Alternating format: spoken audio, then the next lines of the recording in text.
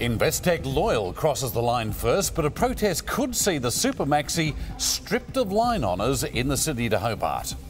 6am Thursday, 29th of December. Good morning, everyone. I'm Ron Wilson. And I'm Tim Webster. Welcome to 10's Early News. Also this morning, a South Australian man extradited to New South Wales charged with murder. In sport, Michael Hussey and Ricky Ponting's careers were on the line, but the veterans combined to rescue Australia's innings in the first test against India at the MCG. And in finance, markets open and retail stocks tumble despite big savings at the post Christmas sales. Here's a brief check of today's weather. Ex-tropical cyclone Grant is expected to reform over the Gulf of Carpentaria into a cyclone, causing heavy rain and squally winds for Cape York. Troughs in the east and west will cause a few showers and storms. A protest will be heard later this morning to decide the line honours winner of a dramatic Sydney to Hobart finish. Investec Loyal edged out rival Wild Oats 11, but could be stripped of the title because of a protest from the race committee. Celebrating like winners, but for now it's only provisional. Investec Loyal's stunning come from behind performance soured minutes after the Super Maxi crossed the finish line. We respect the fact that there's rules in racing and we respect the fact that there's rules um, to yachting and we are confident uh, that the outcome will confirm our victory in the race. It's alleged a crew member on Loyal, speaking with a television helicopter pilot, inquired about the state of rival Wild Oats' sails, an illegal act under racing regulations. You confirm, uh, does Wild Oats have their trysail up? Over. The protest will be heard by an international jury. Punishments can range from a time penalty to disqualification. I'm very sorry about this uh, event. I can assure you that I could well do without it. Wild Oats crossed the line only a few minutes after Investec, meaning the five-time winner could be gifted a sixth title. I don't want to win the race on the, the condition of provisional winners or anything like that. That's not our go. We like to win on the water. Investec wasn't just crewed by professional yachties, but also celebrity sports people. They say even if they're stripped of the win, they're still proud of what they achieved. Whatever happens with the protest happens, but we'll first across the line and we'll see what happens. In Hobart, Ben Lewis, 10 News. A South Australian man has been extradited to Sydney over the murder of a 62-year-old man near Newcastle in October. South Australian police arrested a 48-year-old man at a hotel in Mount Gambier. He arrived in Sydney last night and was taken to Mascot Police Station where he was charged with the murder of Dennis Griffin. He'll appear in Parramatta Local Court later today. Julia Gillard has received a late Christmas present in the opinion polls, but is still facing an election wipeout in Queensland and New South Wales. Julia Gillard beats Tony Abbott as better PM, up two points to 39%. The leader of the coalition dropped three points. However, on a two-party preferred basis, the coalition holds a commanding 10-point lead over the ALP. Analysis shows if an election was held today, the government would lose up to 17 seats in the eastern states. North Koreans have stood for hours in sub-zero temperatures to observe the funeral procession of their former leader Kim Jong-il. The ceremony also anointed Il's son as the new leader, and the world is now watching to see how the new regime manages the secretive, unpredictable state. It was perhaps fitting for a leader of a country still trapped in the Cold War that Kim Jong-il's funeral procession made its way through the frozen capital of his regime. As the snow fell, so did the tears.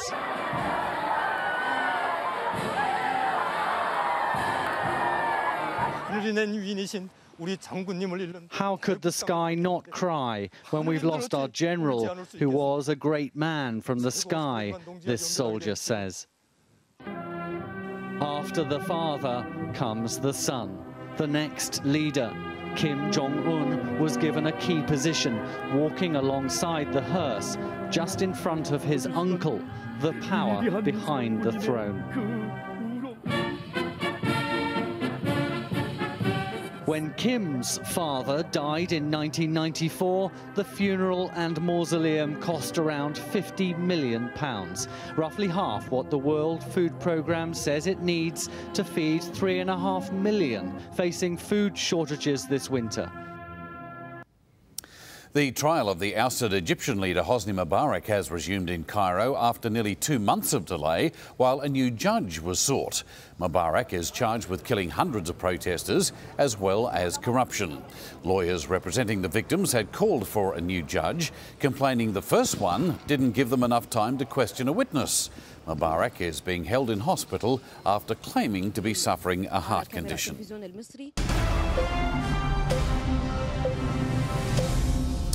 Sports news, and as we uh, mentioned earlier, Investec Loyal will this morning find out whether she's officially the Sydney to Hobart Line Honours winner following a protest. After being in neck and neck with Wild Oats 11 for most of the race, the Super Maxi pipped the five time winner by just over three minutes.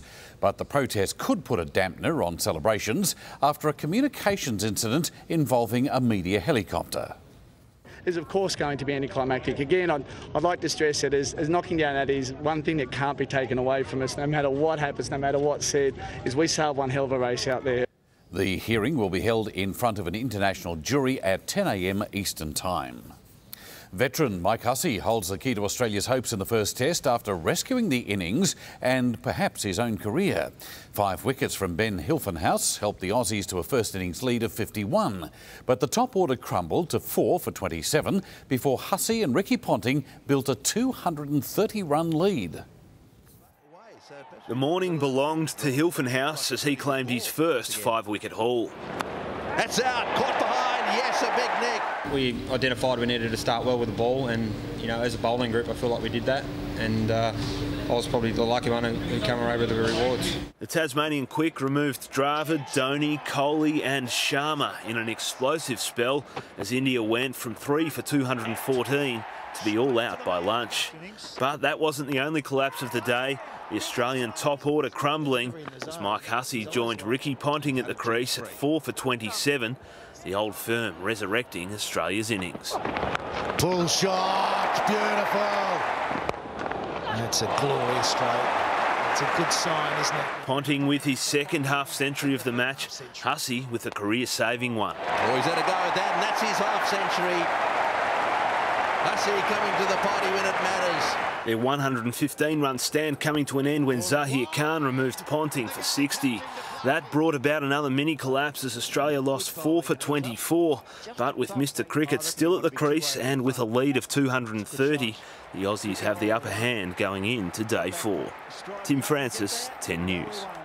Nothing wrong with a couple of veterans at the crease. Here's another one. No. Tim Webster, good morning to you. First of all, retailers were hit at the till, and now they're yeah. being hit uh, at the bourse. Mate, this is all pretty bleak today, that's for sure.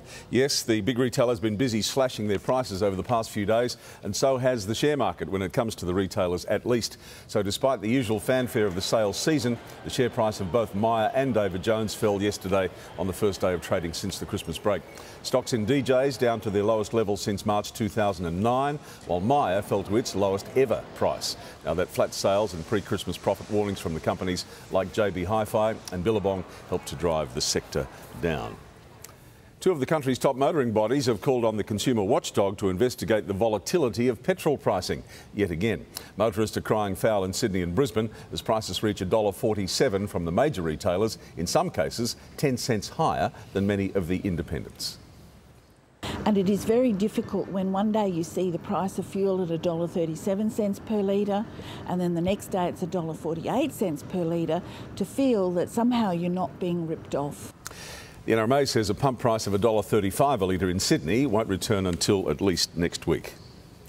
Honda is destroying more than a thousand cars damaged in the recent floods to hit Thailand.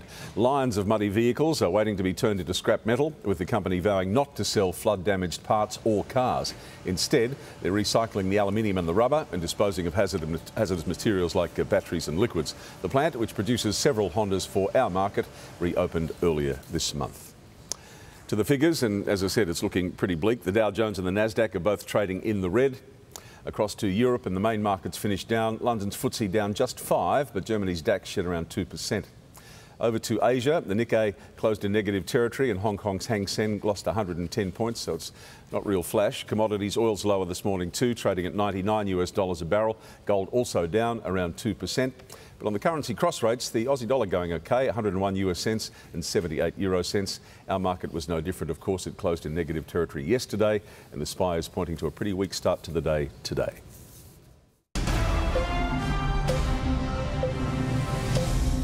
National weather outlook for you. Brisbane late shower and 28 degrees. Sydney mostly sunny, 24 the top today. Canberra sunny day. Melbourne increasing sunshine, just 24. For Hobart a clearing shower down there at Constitution Dock, 20 degrees. Adelaide sun and 30 degrees. Perth a possible thunderstorm, 39. And for Darwin mostly sunny and 34 degrees. Taking a look at today's newspaper headlines, the Sydney Morning Herald reports on Wayne Swan boasting about the government's efforts in maintaining stability in a volatile economic climate. The Age says some beaches in Melbourne are up to 40 times over the acceptable bacteria level and people are being warned not to swim at them. Recent storms have sent a lot of pollution into the sea. The Australian reports the government faces criticism from the Greens for its $490 million youth dental program. And the Courier Mail reveals the 27 faces of those who've died in house fires this year in Queensland.